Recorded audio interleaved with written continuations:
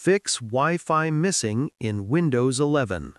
We're fixing that with five proven steps. Step 1. Adapter check. Right-click Start button. Click Settings. Click Network and Internet.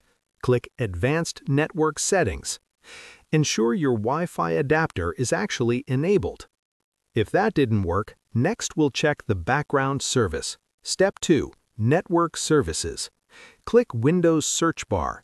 Type Run, click Run, type services.msc, click OK button. Find WLAN AutoConfig.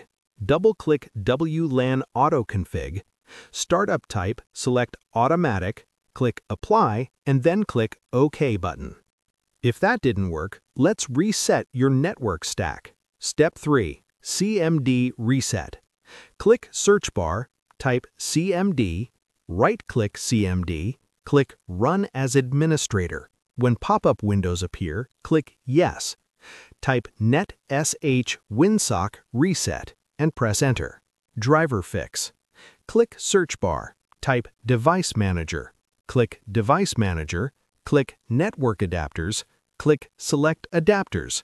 Click Uninstall button. Click Uninstall button, then restart your PC. Windows will automatically reinstall a fresh version.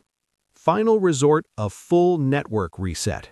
This returns all your internet settings to factory defaults. Step 5. Network Reset. Right-click Start button. Click Settings. Click Network and Internet. Click Advanced Network Settings. Click Network Reset. Click Reset Now. If one of these fixed your issue, hit that like button. For more 2026 Tech Fixes, subscribe to the channel. See you in the next one.